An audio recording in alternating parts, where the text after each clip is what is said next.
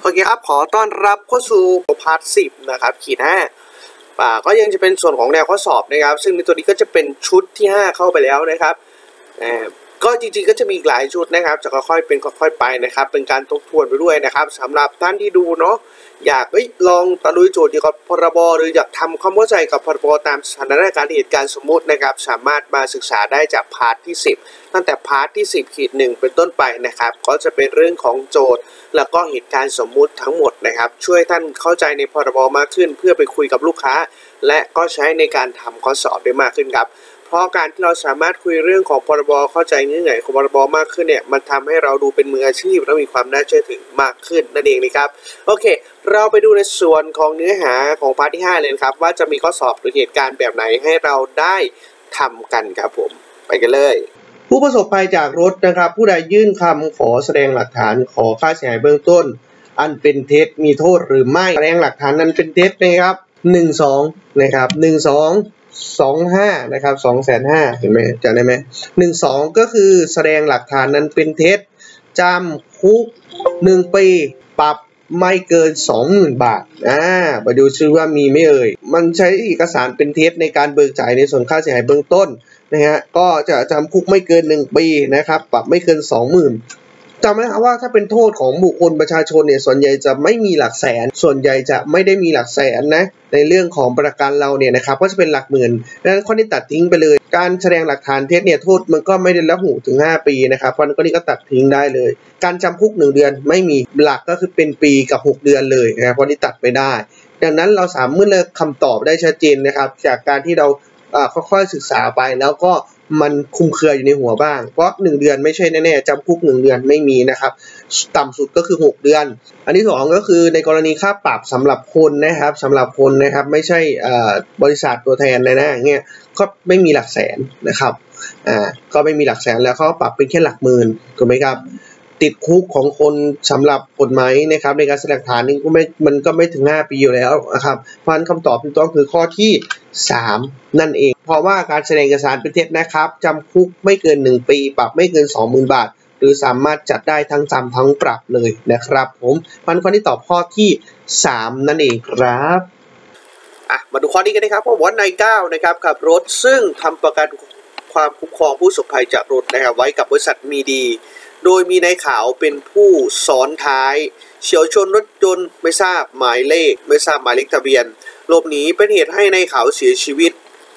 ซึ่งพนักงานสอบสวนได้ลงความเห็นว่ารถยนต์ที่ชนแล้วหนีเป็นฝ่ายผิด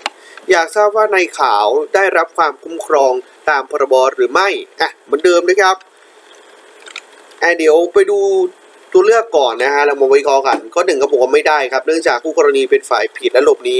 ข้อ 2 ได้เฉพาะค่าความเสียหายเบื้องต้น เป็นค่าปรุงศพ35,000 บาท ข้อ3ครับได้ค่าศพปรุงศพ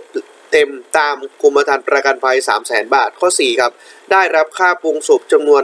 40,000 บาท เนื่องจากคู่กรณีหลบหนีนะฮะอะโอเคทีนี้มาวิเคราะห์แบบย้อนกลับกันนะครับ เราวิเคราะห์แบบย้อนกลับก็เห็นว่าหนึ่งเลยนะครับ ก็ต้องดูก่อนว่าเขาถามมาใคร โอเค เรารู้แล้วโจทย์ถามหาว่าในขาวเนี่ยนะครับ จะได้ค่าสินใหม่เท่าไหร่ ต่อมาเราไปดูครับว่าสุดท้ายนะครับ ในขาวเกิดอะไรขึ้นกับในขาวบ้าง ย้อนกลับไปครับอะเจอละอ๋อในขาวเสียชีวิตนะครับ แล้วในขาวเขาเป็นใครอะอ่าโอเคไล่กลับมาอีกนะครับปึ๊บปึ๊บปึ๊บปึ๊บปึ๊บปึ๊บปึ๊บปึ๊บอ่าอ๋อในขาวเป็นผู้ซ้อนท้ายครับอ่าผู้ซ้อนท้ายกับผู้โดยสารก็ เป็นคนคนเดียวกันถูกไหมครับเป็นลักษณะเหมือนกันเนี่ยก็คือผู้โดยสารนะครับ ดังนั้นผู้โดยสารก็จะเป็นไงครับ เป็นบุคคลที่ถูกเสมอ แต่แน่นอนครับบุคคลที่ถูกเสมอก็มีโอกาสที่ได้สูงสุดทั้งหมด แต่ต้องไปดูครับว่าคนผิดมีพรบมารองรับหรือเปล่า สถานการณ์ที่เกิดขึ้นนะครับก็บอกว่านายก้าวขับรถไปนะฮะ มีพรบด้วยนะครับ โดยมีในข่าวซ้อนท้ายไป แต่คนที่ชนและเป็นฝ่ายผิดก็คืออรถที่มาชนเนี่ยเราไม่ทราบทะเบียนนะครับ และสำคัญเลยคนที่ชนแล้วหนีเนี่ยนะครับ เป็นฝ่ายประมาทดังนั้นแสดงว่าเคสนี้ไม่มีพรบมารองรับครับ ดังนั้นไม่มีพรบมารองรับแม้ว่าในข่าวนะครับ เป็นคนซ้อนซึ่งถูกเสมอ แต่ ไม่มีพรบมารองรับเขาจึงได้แค่เบื้องต้นเท่านั้นนะครับ เพราะชนแล้วหนีไงมันก็เลยไม่มีพรบมารองรับนะครับ เพราะนั้นดังนั้นก็จะได้แค่เบื้องต้นครับและเบื้องต้นตัวนี้บอกเลยว่าในข่าวเสียชีวิตนะครับ ถ้าเบื้องต้นจะมีค่ารักษาตามจริงไม่เกิน 30,000 บาท และกรณีเสียชีวิตสูญเสียอวัยวะนะครับจ่ายอยู่ที่ 35,000 บาทนี่นะครับเพราะฉะนั้นตอนนี้ตอบข้อที่2นะครับ เห็นไหมก็ได้เหมือนเดิมนะครับเพราะเขาเป็นฝ่ายถูกนะ แต่เนื่องจากฝ่ายผิดไม่มีพรบมารองรับ จึงได้แค่เบื้องต้นนะครับเรื่องค่าปรุงสุกเบื้องต้นได้ที่ 35,000 บาทเองครับ แต่ตัวเนี้ยจะได้นะถ้า 3 0 0แสนนี่มีโอกาสได้ไหมได้ครับ ถ้าฝ่ายผิดไม่ได้หนีหรือมีพรบ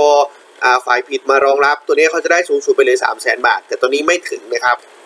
จะได้อยู่ที่ 35,000 บาทนะครับ เพราะไม่มีพรบมารองรับนั่นเองครับผมประมาณนี้นะครับ ให้ดูก่อนนะว่าถามาใคร เหตุการณ์นั้นมีพรบไหมนะครับ คนที่ถามหาเนี่ยเป็นคนที่เป็นฝ่ายผิดหรือฝ่ายถูกนะฮะวิเคราะห์ให้ถูกนะครับโอเค เดี๋ยวไปดูข้อต่อไปกันเลยครับโอเคครับข้อมานี้มาดูครับบอกว่านายเกเรนะครับขับขี่รถจักรยานยนต์ซึ่งถูกลักขโมยมา ซึ่งลักขโมยมา โดยที่เจ้าหน้าที่ได้มีการรับร้องทุกจากพนักงานสอบสวนแล้วพูดง่ายคือรถมอเตอร์ไซค์คันนี้นะครับ ที่นายเกเรเนี่ยนะฮะไปขโมยมาเนี่ยนะครับ ก็มีการแจ้งความเรียบร้อยแล้ว มีการคุ้มครอง ผู้ประสบภัยจากรถนะพูดง่ายคือมีประกันตัวพรบนะครับกับบริษัทบริษัทหนึ่งอยู่คือบริษัท A นะครับ แล้วเกิดเหตุนะครับชนกับต้นไม้นะอยากทราบว่านายเกเรจะได้รับความคุ้มครองตามพรบหรือไม่และจากที่ใดนะครับอะไปดูกันหน่อยนะครับตัวแรกๆครับผมครับได้ค่าเสียหายเบื้องต้นจากกองทุนทดแทนผู้สูญภัยจากรถ ข้อ 2 ครับได้รับค่าเสียหายเบื้องต้นจากบริษัท A ข้อ 3 ครับไม่ได้เนื่องจากเป็นรถ จักรยานยนต์ซึ่งถูกลักขโมยมา ข้อ 4 ครับ ไม่ได้เนื่องจากเป็นรถจักรยานยนต์ที่ถูกขโมยมาครับข้อนี้เหมือนกันเลยนะครับต่างกันแค่ตัวหนึ่งมีรับกับไม่ได้รับถ้าจริงอะถ้าเราจะตัดถ้ามันมีข้อแบบนี้จริงๆครับมันตัดไปแล้วสองข้อเพราะเพราะคำตอบไม่เหมือนกัน มันไม่น่าจะเป็นคำตอบที่ถูกนะครับแต่เอามาวิเคราะห์กันหน่อยนะครับว่าเขาจะได้รับไหมอะนายเกเรนะครับขโมยรถเขามา แน่นอนว่าเอ่อมันเป็นการนับผิดรถมาทำกระทำความผิด รบมันจะไม่ได้เกิดการคุ้มครอง แล้วก็มันมีการแจ้งความไว้แล้วถูกไหมฮะพอมีการแจ้งความไว้ปั๊บเลยครับเฮ้ยกรมธรณีมันอยู่ทำงานไปก่อนนะครับเพราะถือว่ารถคันนั้นไปทำผิดกฎหมายอ้าวแล้วคราวนี้นายเกเรเนี่ยเป็นคนที่ขับรถไปก็จริงนะครับ แล้วเป็นไงชนต้นไม้ฮะแล้วทำให้ตัวเองเจ็บนะครับ แสดงว่าเอ้ยนายเกเรนี่แหละนะครับ ถือว่าเป็นฝ่ายประมาททำให้ตัวเองบาดเจ็บนะครับ จากการขับรถ แต่แน่นอนครับ มีการแจ้งความแล้วพรบเองบอกเฮ้ยหยุดทำงานนะครับเพราะรถคันนั้นไม่ได้ใช้ปกติแล้วนะครับ มันเป็นการใช้ลักษณะมึงขโมยนะครับลักทรัพย์ผิดกฎหมาย แต่แน่นอนครับว่า เมื่อไม่มีพรบมารองรับแล้ว สิ่งที่จะเกิดขึ้นคือนายเกเรก็สามารถขอเบิกได้ครับ แต่ไปเบิกกับกองทุนทดแทนผู้ประสบภัยจากรถนั่นเองนะครับ ผมเพราะมันมีพรบมารองรับนะฮะเพราะพรบมันโดนระงับไปตั้งแต่เขามีการ แจ้งความกับเจ้าพนักงานแล้วนั่นเองนะครับโอเคถ้ามีการแจ้งความเจ้าพนักงานนะครับพรบตัวนั้นจะไม่ทำงานโอเคไหมฮะพอพอไม่ทำทำงานแล้วจะทำไงอะเขาไปเบิกกับกองทุนครับสำหรับผู้ประสบภัยนะดังนั้นข้อนี้นะครับก็สรุปเลยเนาะรถที่ถูกขโมยแจ้งความไปแล้วนะครับจะเบิกได้แค่กับกองทุนเพราะเราถือว่ามันไม่มีพรบมารองรับแล้วเพราะพรบนั้น ไม่ใช่รถที่เอาไปใช้อย่างถูกกฎหมายเป็นรถที่โจรกรรมไปนี่นะครับผมโอเค พอนข้อนี้ตอบข้อที่ 1 นะครับโอเคไหมครับเอาข้อที่ 1 นะ เพราะว่ามันไม่มีพรบมารองรับก็ไปเบิกกับกองทุน โอเคครับผม ไปดูกันเลยข้อต่อไปครับ ต่อมาครับ ความผิดตามพรบผู้ประสบภัยจากรถที่มีโทษปรับสถานเดียวนะครับ ย้ำว่าเป็นแค่โทษปรับสถานเดียวนะครับ ให้นายทะเบียนมีอำนาจเปรียบเทียบปรับได้ และเมื่อชำระค่าปรับจำนวนนั้นแล้ว ให้ถือว่าคดีเลิกการตามประมวลกฎหมายแพ่งพาณิชย์ วิธีพิจารณาความอาญานะครับ ก็คือภายในกี่วันนะครับ ก็ถือว่าสิ้นสุดการหลังจากมีการจ่ายค่าปรับเรียบร้อยแล้วนั่นเองนะครับพอดีเพื่อจะถามประมาณนี้นะครับเพราะกฎหมายมันจะมีบอกนะครับ ค่ากรณีโทษปรับแล้วมันมีการจ่ายค่าปรับเป็นเสร็จตามที่ในทะเบียนแจ้งไปแล้วนะครับ หรือตามกฎหมายแล้วเนี่ยนะครับ เราจะถือว่า คดีเนี่ยมันจบแล้วนะครับ แต่มันมีระยะเวลาว่า เออ นับไปตั้งแต่กี่วัน ก็คือว่าถือว่าสิ้นสุดโดยที่ไม่ต้องแจ้งนะครับหนึ่งเลยนะครับก็คือ 15 วัน 2 30 วัน 3 45 วัน แล้วข้อ4 60 วัน ข้อนี้จำไว้เลยนะครับว่าในกรณีที่เป็นโทษเกี่ยวกับโทษปรับ แล้วมีการจ่ายค่าปรับไปแล้ว มีโทษปรับอย่างเดียวนะครับ ไม่ได้มีโทษจำคุกแล้วเรามีการจ่ายค่าปรับนั้นไปแล้วไซนะฮะคดีจะจบกันครับ โดยประมวลตามประมวลกฎหมายนะครับ พิจารณาคดีความก็คือนัดไปเลย 30 วันนะครับ คุณจ่ายปั๊บนะครับนัดไปเลย30วันแสดงว่าคดีนั้นขาดผลนะครับ ไม่อะไรกันแล้วนะครับ เพราะเขามีการจ่ายค่าปรับตามเงื่อนไขในโทษที่มีเป็นคสาฐานปรับเรียบร้อยนะฮะเพราะฉะนั้นเจำเลยครับ ถ้าโจทย์ถามกับโทษปรับ ให้จำเลย 30 วันนั่นเองนะครับผม เพราะฉะนั้นข้อนี้ตอบข้อที่ 2 ครับ 30 วันโอเคนะครับ ถามหาโทษปรับตอบ 30 วันเนาะโทษปรับหมายถึงว่าปรับอย่างเดียวมันประมวลกฎหมายเท่าไหร่ก็ตอบไปเลย 30 วันนะอะไปดูข้อต่อไปครับข้อนี้ครับเขาบอกว่านายรุ้งนะครับขับรถจักรยานยนต์ที่ได้ทำประกันพรบไว้ และเกิดอุบัติเหตุถูกรถชนโดยรถดังกล่าวเป็นฝ่ายผิดครับ โอเค อะมีฝ่ายผิดแล้วนะฮะแต่รถไม่ได้ทำพรบครับอ่านายรุ่งจะได้รับบาดเจ็บสาหัสจากเหตุการณ์นี้นายรุ่งสามารถเบิกค่าเสียหายได้ หรือไม่และจากที่ไหนนะครับโอเค สิ่งที่เกิดขึ้นคือนะครับเอ่อมันมีคำตอบบอกว่าได้จากบริษัทประกันรถยนต์2ได้จากบริษัทประจากรถยนต์ของนายรุ่ง 3 ได้จากกองทุนทดแทนผู้สบายจากรถ 4 ได้จากคอปพนะครับ เหตุการณ์นี้เกิดขึ้นเราจะรู้ว่าอ๋อมันมีคนผิดนะครับ ซึ่งคนผิดไม่ใช่นายรุ่งนะครับ เป็นคนอีกคนหนึ่งที่ขับรถมาชนถูกไหมฮะแต่คนที่ขับมาชนน่ะดันไม่มีพรบครับ ไม่มีพรบเอาแล้วทำไงอะนะครับไม่มีพรบมารองรับ แสดงก็สามารถเบิกได้แค่เบื้องต้นนะครับ มันมีฝ่ายพรบฝ่ายผิดมารองรับ แต่สิ่งนี้เกิดขึ้นคือรถในรุ่งเนี่ยดันทำพรบครับ ดังนั้นนายรุ่งก็สามารถเบิกในส่วนของ ค่าเสียหายเบื้องต้นนะครับ ได้กับบริษัทนะครับ หรือพรบของรถนายรุ่งนั่นเองนะฮะ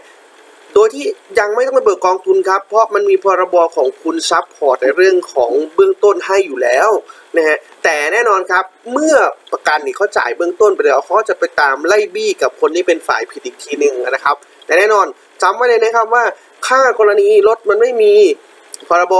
แม้ว่าคุณรถคุณจะมีประกันคุณก็เบิกได้แค่เบื้องต้นเท่านั้นนะครับ แล้วเบิกได้จากไหนก็ได้จากครับรถคุณมีประกันก็เบิกได้จากตัวรถคุณนะครับ แต่เบิกได้แค่เบื้องต้นอ้าวแล้วถ้ามันมีส่วนเกินส่วนต่าง คุณก็ฟ้องร้องกับคนที่เป็นฝ่ายผิดนะครับ แต่ข้อนี้เขาถามที่ว่าสามารถเบิกค่าเสียหายได้หรือไม่ก็บอกว่าได้นะครับ ไม่ต้องไปกองทุนบรถตัวเองประกัน ก็เบิกกับตัวเองประกอบรถประกัน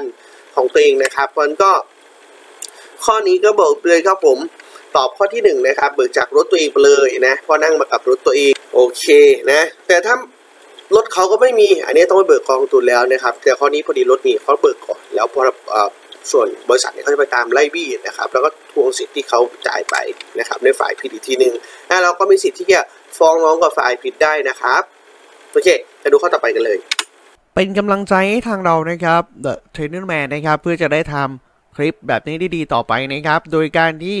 ถ้าชอบคลิปนี้นะครับกดไลค์แล้วก็กดแชร์ และรวมถึงคลิปที่ทุกท่านอาจจะไปย้อนดูนะครับ รวมถึงคลิปในอนาคตด้วย ถ้าเห็นว่ามีประโยชน์อย่าลืมกดไลค์ แล้วก็ถ้ามันมีประโยชน์และอยากส่งให้เพื่อนๆต่อ เพื่อนำความรู้นี้ไปถ่ายทอดเพื่อนๆที่อยากจะสอบนะครับ หรืออยากเข้าใจเรื่องของงานเกี่ยวกับการประกันภัยมากครับก็กดแชร์ด้วยนะครับ และสำคัญเลยเพื่อเป็นการติดตามนะครับ แล้วก็เป็นอีกหนึ่งกำลังใจให้เราถ้า